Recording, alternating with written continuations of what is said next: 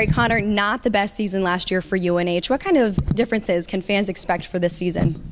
I think we'll uh, kind of pick up where we left off last year. Obviously, we didn't have the best season, but uh, we ended on a pretty good note, even though we might not have made it too far in the playoffs. But uh, I think this year we got a little bit younger group, uh, a lot more um, maybe competitiveness coming from both sides. You know, we got couple goalies we can put a lot of faith into and a defensive corp that we uh, have had for a couple seasons. So hopefully we can hold the bit down the back end and put some pucks in the net. Last year's freshmen moving up as sophomores, what can we expect from them? They had uh, collectively a pretty good season. Yeah, we had a few guys that were, actually had a pretty good offensive production and uh, other guys who were good energy players and they brought a lot to the team that maybe goes a little bit unnoticed, but uh, helped out a lot for us, and hopefully they can do the same thing this year and maybe even a little bit more. Having a tough season last year, what kinds of things can you take from that and carry uh, to move forward this season?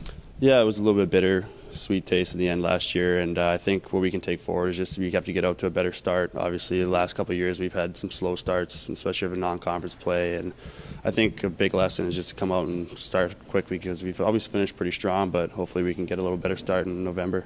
And this is a team that year after year is in postseason play. Last year, obviously, uh, struggled a bit there, but what can we expect this team to do in order to make it to the postseason play? I think we got to we decide, you know, we're going to break it down this year in a little bit more of a segmented season. So instead of looking at the season as a whole, we're going to take it down to month by month and got to win every month. And hopefully, by the end of that, come February, March, we're going to have on the upside of the months one. So hopefully that'll put, uh, move into some playoffs, playoff play and some postseason success. Oh, uh, you're taking in several freshmen. I'm sure you've gotten to interact with them a little bit so far. What can we expect from this coming class?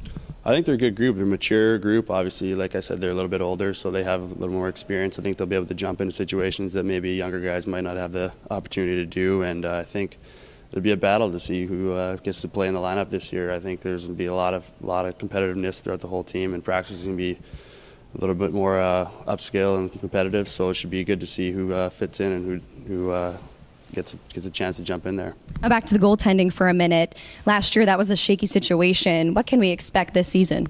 I think we got some goaltenders. I think all three of them are ready to play. I think uh, just by seeing everybody in practice, everybody's they're all going to be fighting for that number one position. So obviously DeSmith was a great asset for us last year. He came in and helped us out a lot. And uh, Wire, you know, he had a little tough season being injured and stuff like that. But even Regan came in and the last couple of weeks he's been pretty outstanding in practice. So it should be interesting to see what happens and hopefully all three will get a chance to jump in there sometime and I think they can all back us up pretty well. So at this point, who uh, would you expect to start in net? I think we'll probably see DeSmith in just because how he finished last year. Absolutely. But uh, I think uh, you know I think Wire will give him a chance chance too. I think I think he deserves a chance. He's obviously uh, proven well enough in practice and other in games when he's jumped in there that he can play. And I think all three of them really have a chance. Just a matter of who is who gets hot and when they get hot, pretty much.